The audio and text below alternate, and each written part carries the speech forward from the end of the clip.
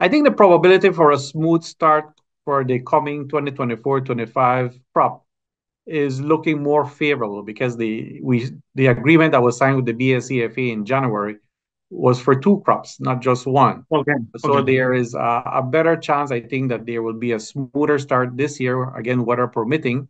Uh, I think more you would see a challenge for the 2025-26 crop if an agreement is not reached with the BSCFA before then.